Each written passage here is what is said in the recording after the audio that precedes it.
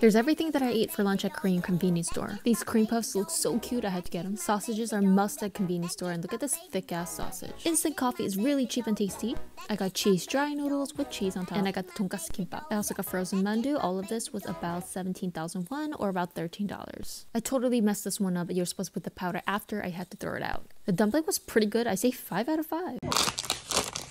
It's a little soggy. Mmm. Mmm. About another one because I messed up.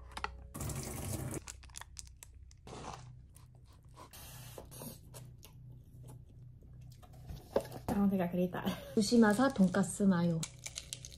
Mmm. Not bad. So long. Mmm. Mm. Korean hot dog meat hits different. so good.